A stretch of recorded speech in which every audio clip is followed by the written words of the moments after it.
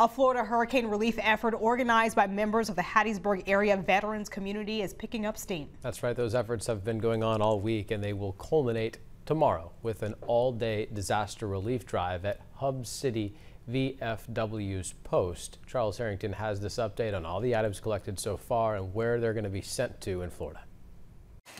What a difference a couple of days has made for the members of VFW Post 3036, who are collecting relief supplies for storm survivors in Florida. They just had a few items Wednesday when the relief drive began. But now. The uh, support has been tremendous. The people of the community, the businesses, the military organizations uh, have really turned up and, uh, and brought stuff to us. Stuff like food and clothing, pet supplies, hygiene products. I don't think this is all going to fit. VFW member Dick Vogel has been busy buying supplies with donated money and picking up other supplies donated by folks like Cody Abity and many others associated with USM's Center for Veterans, Service Members, and Families. St. Fabian's uh, gave us a large sum of money along with Chesterfield's restaurant, Mr. Chris Happ.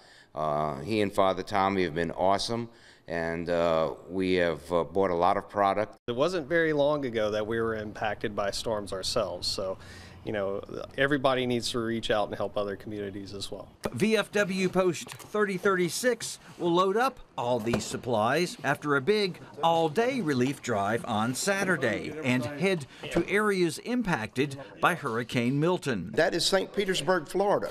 Uh, we will be taking it to a VFW post there that's large enough and they're capable uh, of handling these types of supplies. The disaster relief drive at the post Saturday will be from 9 a.m. to 3 p.m. Charles Harrington, WDAM 7 on your side.